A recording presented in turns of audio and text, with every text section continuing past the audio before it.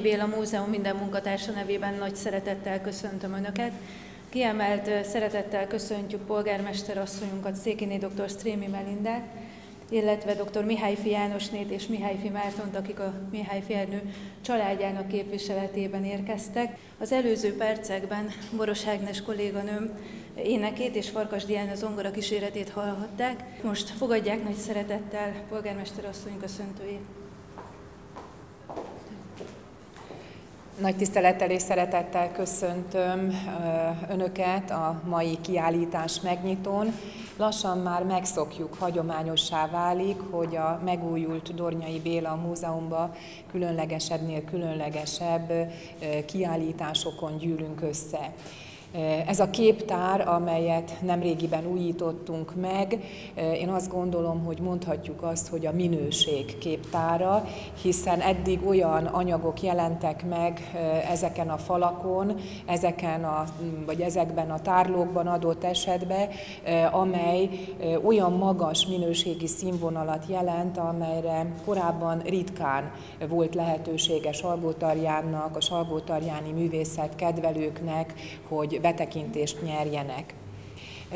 Volt ennek a múzeumnak a birtokában, illetve nem múlt idő, hiszen jelen is, egy különleges gyűjtemény, ez pedig a Mihályfi gyűjtemény, amelyet ugyan 2006-ban éppen ebben a képtárban egy válogatás formájában bemutatott az akkori múzeum közössége, illetve fenntartója a nagyközönségnek, de hosszú ideig ezek az anyagok a raktárban pihentek és bizony nagyon megrongálódtak.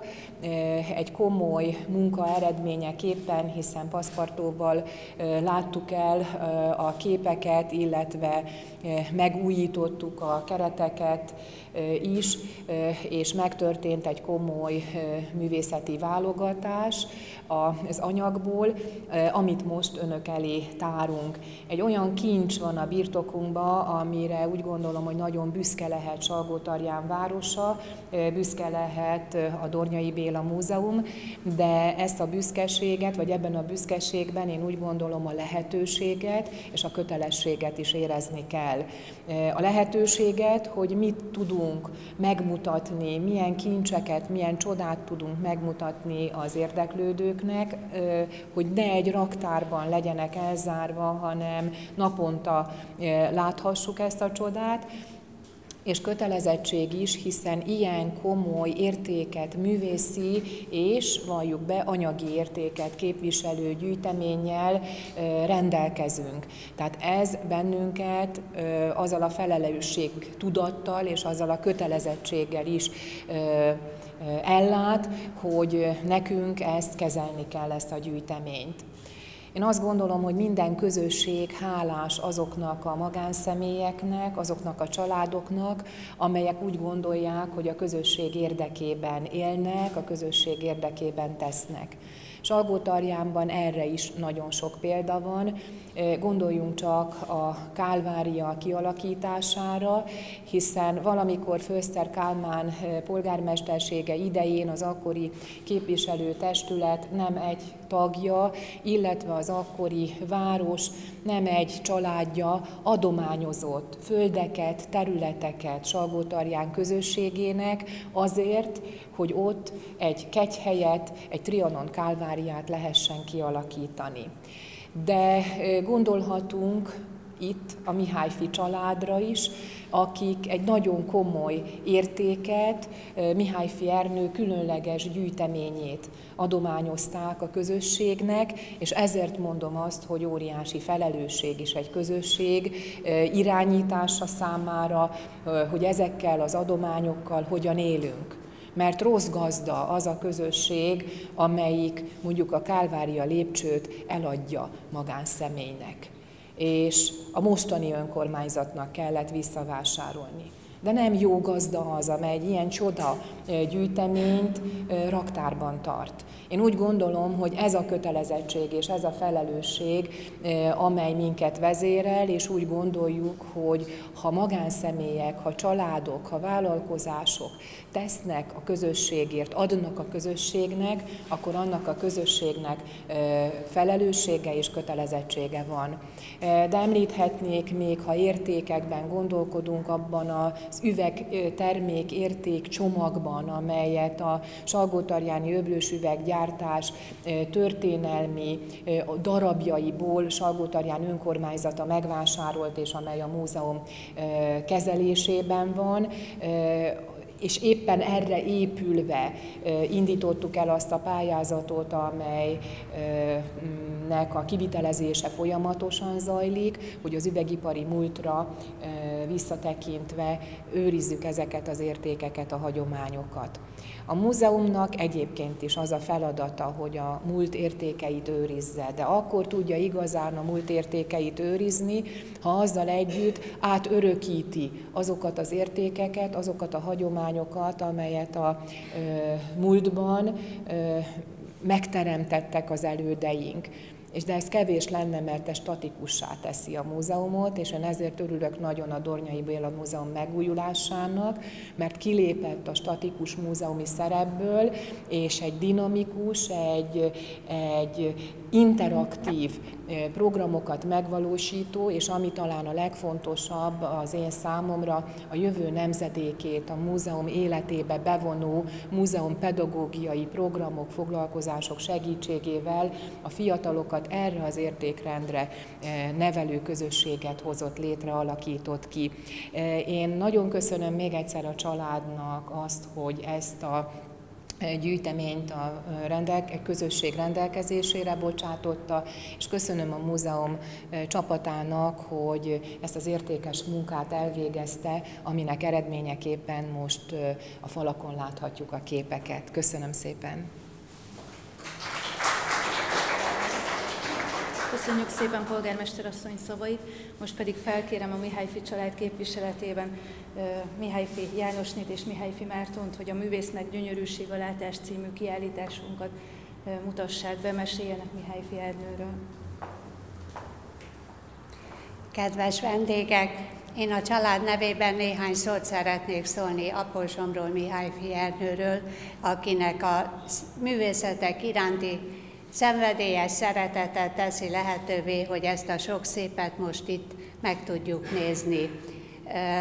Mihály Ernő 1898-ban született Béren, evangélikus papi családból. Újságíró volt, egész életében ezt tekintette fő hivatásának, bár emellett nagyon sok társadalmi és politikai funkciót is elvállalt. Először az eslapoknál, majd a Magyarország című újságnál dolgozott, a háború, második világháború előtt pedig Bajcsi Zsinszki Endrével a Független Magyarországot szerkesztik. A második világháború után, 49-ben a Magyar Nemzetnek lett a főszerkesztője, haláláig 1972-ig. Gyűjteménye magvát a 20. század festészete képezi, amiben három fő kedvencének a nevét szeretném megemlíteni. A városi művészetben Derkovics, a falusi népi élet meg munkálója Nagy István volt, és amellett Újc Béla volt, aki az egyik legkedvesebb művészek közé tartozott, vele személyesen is találkozott. A képeknek és a kiállításnak a művészettörténeti jelentőségét én nem vagyok hivatott, hogy értékeljem, erre sokkal szakavatottabb emberek vannak. Én csak nagyon kellemes szórakozást és nagyon szép élményt kívánok az itt megjelenteknek és a kétsői látogatóknak, és nagyon köszönjük ezt a sok munkát, amivel ezt a szép kiállítást összehozták. Jó szórakozást!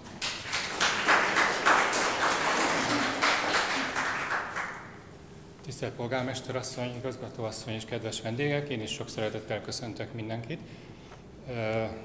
Ugye hát nehéz a polgármester asszony után már elmondani, mert ő minden fontos dolgot összefoglalt, illetve édesanyám Mihály Férnőről szólt pár szót. Engem Mihály Mártonnak hívnak, ugye én vagyok az unokája, én sajnos személyesen nem ismertem őt, az a tudat vigasztalt, viszont ő tudott az én érkezésemről. A másik szomorú dolog, hogy az ő végzettsége művelődés történet volt, én viszont a művészetben és a leglaikusabb kedvelőként vagyok járatos, úgyhogy az itt látható művek értékelés helyett engedjék meg, hogy csak röviden felelevenítsem, a, a, hogy az itt látható művek, illetve a gyűjtemény hogyan került Salgótarjánba.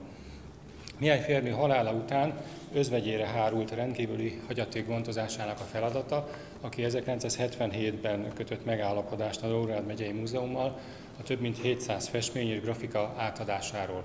Ugye, aki nem tudja, hogy miért Nógrád megyére esett, miért Nógrád megyére esett a választása, ugye ez volt Mihály Fernő szűk hazája, illetve innen származik, és a későbbi munkássága során se feledkezett meg Nógrád megyéről, hanem például országgyűlési képviselőként is Nógrádot képviselte. Mi magunk is a mai napig tartjuk a kapcsolatot szülőfalujában, Bérben lakó ismerőseinkkel. A, abban a múzeumban most vagyunk, a mai Dornyai Béla Múzeum, ennek az átadása 1980-ban történt, de már előtte a születésnap, születésének 80. évfordulóján 1978-ban kiállítás nyílt a Bérhez közeli palotáson, ma palotás halom, és ekkor tájt a Mihály Fernő felesége művésznevén Filó, Sinkó Katali művészettörténész segítségével megkezdte a teljes gyűjtemény katalógizálását, ami szintén megjelent. A 80-as években a legjelentősebb kiállítás a Széchenyi Kastélymúzeumhoz köthető. Itt majdnem 5 éven keresztül kerültek kiállításra a Kastélymúzeum termeiben a legjelentősebb festmények.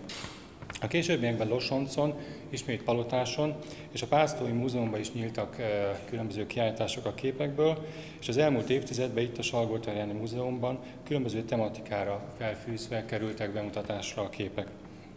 Fontos megemlíteni, hogy a gyűjteménynek a fővárosban történő bemutatása gyakorlatilag egyetlen egyszer történt meg, arra a kölcsönadásoktól eltekintve ez 1999 márciusában ö, nyílt a kiállítás az Óbudai Kasság Múzeumban, ami Mihály Fernő déd unokájának a születése után pár nappal történt gyakorlatilag. Úgyhogy emiatt mi nagy örömmel vettük a hírt, hogy ismét megnyílik itt egy kiállítás, és készültünk a megnyitóra, hiszen ennek a megnyitónak fontos szerepe lehet abban, hogy az elmúlt évtizedben felnőtt művészettörténészek vagy rajongók figyelmét ismét erre a jelentős gyűjteményre irányítsa. Kicsit aggódunk is amiatt, hogy Salgótarján nem tudná jobban kihasználni a gyűjteményben rejlő turisztikai lehetőségeket, hiszen ha valakit ma megkérdezünk Salgótarjánról, próbáltam egy szubjektív kutatást végezni kollégáim körében, akkor általában mindenkinek üveggyár vagy bányászat jut eszébe, és nem a képzőművészet. Jó példa lehet esetleg más városokban már magángyűjtők hagyatékából megnyitott ismert kiállítás, Ilyen például Győrben a Radnai gyűjtemény, Pécsen a Gyugyi, vagy Debrecenben az Antal Lustig gyűjtemény kiállítása. Szintén fontos apropó, hogy jelen pillanatban is tart a Magyar Nemzeti Galéria minden eddiginél átfogóbb Derkovics kiállítása, ahol szintén láthatunk képeket a Mihály gyűjteményből, illetve Mihály Fernő által írt vagy gondozott korabeli újságok is kiállításra kerültek.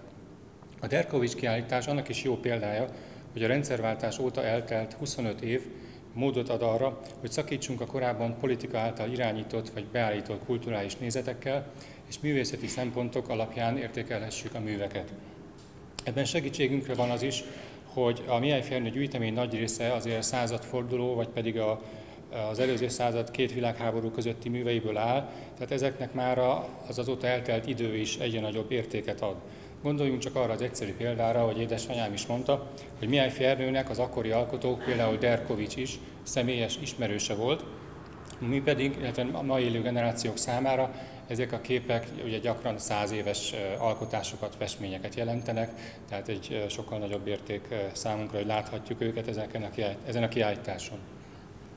Végezetül szeretném megköszönni Peák Ildikó főmuzeológus művészettörténész áldozatos munkáját a ma megnyíló kiállításban. Köszönöm szépen még egyszer a múzeum és Salgótarján munkáját, és hát átadnám a megnyitót, akkor, illetve a szerepet a művészeteknek.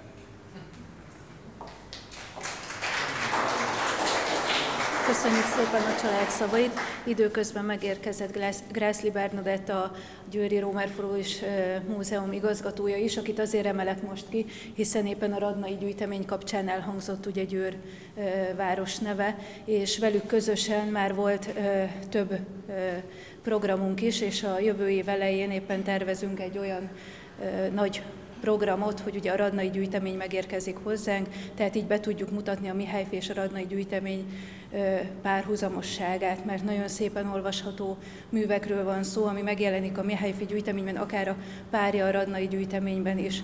Úgyhogy nagyon sok ilyen előkészület van már arra, hogy hogyan tudjuk még intenzívebbé tenni, illetve még jobban közismerté tenni a gyűjteményünket illetve egy vándorkiállítást is szeretnénk majd a közeljövőben, ahogy beszéltük Elemené Pál Kildikó kolléganőmmel ebből a gyűjteményből, hiszen nagyon nagy számú a gyűjtemény, és ugye itt mindig csak a töredékét tudjuk bemutatni.